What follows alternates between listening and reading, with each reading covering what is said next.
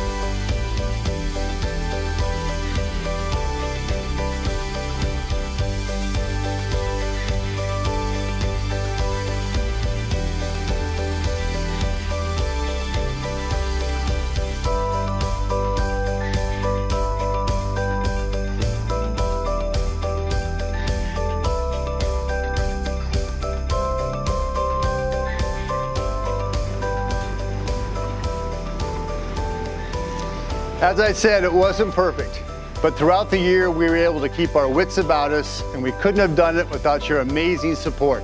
So on behalf of all of us at Meals from the Heartland, thank you and have a very Merry Christmas and a Happy New Year.